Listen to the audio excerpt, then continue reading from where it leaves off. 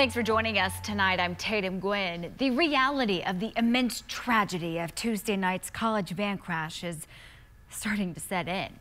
Seven people from the University of the Southwest died in that crash, each of them special in their own right. We continue to learn more about each of them, and we are honoring them here tonight. Francisco Soto spoke with friends and family. Francisco. Yeah, Tatum, so many people have been touched by this tragedy in some way, whether you knew them or not. The community continues to mourn. Our institution is crushed and broken, but strong. They're not only students and coaches they are loved ones to us. They are members of our family here uh, on campus.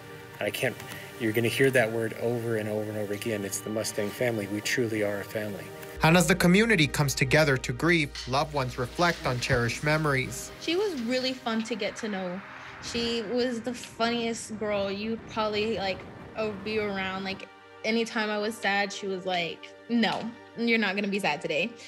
She, I mean, honestly, if I'm being honest, she's the reason as to why I passed my college classes in high school because I had a hard time in one of them and she was really helpful in most of them. She tried so hard to help me. I mean, she was just, she was that type of person like, if you needed help, she was going to help you. She was going to find a way to help you. A high school friend of Karisa Raines remembers her for her love of golfing, God, and helping others. She was always a helping hand. She was always a team member. Like, you need a ride, we'll do this. If you need help, like, I'm there.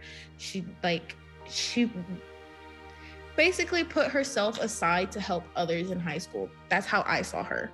Like, she was like, regardless of what she was going through, she was going to help. She was going to put herself aside and she was going to help people that needed it.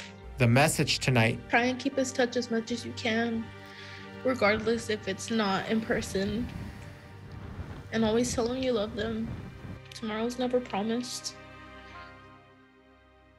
And we will continue to keep you updated on these victims. We are currently trying to find photos of the two victims that died in the truck, the 30-year-old Heinrich Siemens from Seminole and his son who was only 13 years old. Tatum.